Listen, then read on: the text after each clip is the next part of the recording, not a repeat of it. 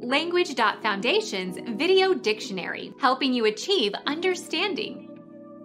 Covering with a design in which one element covers a part of another, as with tiles or shingles.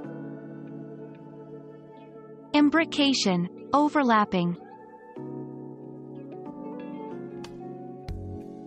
Become our student and get access to effective and free educational materials. Subscribe to our channel to become a part of our growing community and to learn English effectively.